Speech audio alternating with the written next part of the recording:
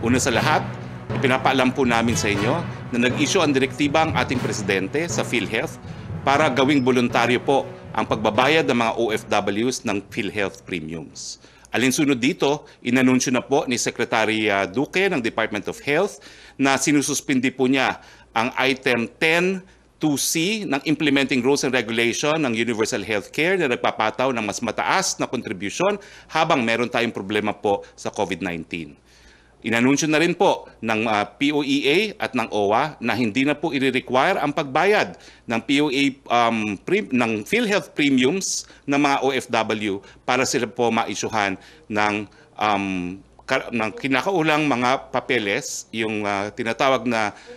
OEC para makalabas ng bansa ng karagdagang um, POE ng karagdagang premium sa pamamaraan na nais pong ipatupad ng PhilHealth. Yan po ay nasa implementing rules and regulation para lang po sa kaalaman ng lahat.